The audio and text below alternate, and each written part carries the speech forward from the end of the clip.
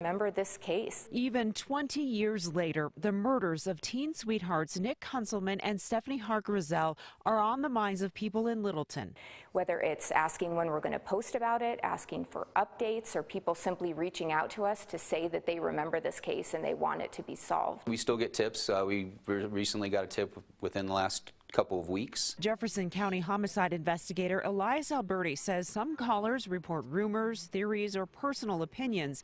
And while he checks them all out, he is still waiting for that key piece to the puzzle. The information that we're really looking for is people who have knowledge or have firsthand knowledge specifically of what took place, what led up to the murders, or during the murders, or after the murders. Alberti says he works on this case every day. He even has these sketches hanging above his desk. The, the reason that there's two of them is because uh, two of the witnesses gave their own separate interpretation of what the suspect looked like uh, that they that they saw leaving the subway. He doesn't know how many people were involved in the murders, but he knows there are people in the community that do know. I know that there's people out there that have information on this case that haven't come forward and said something. Our partners at Metro Denver Crime Stoppers are encouraging those people to come forward now. What we've done for the 20th anniversary of this case is work with Subway headquarters and the Jefferson County Sheriff's Office to increase the reward in this case.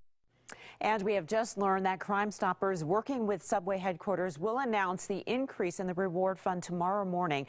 We'll keep you posted on that. In the meantime, if you have any information in this case that could help, call their tip line at 720-913-STOP. You can, of course, remain anonymous and be eligible for a reward. Deborah Takahara, Fox 31. Yeah, these answers are long.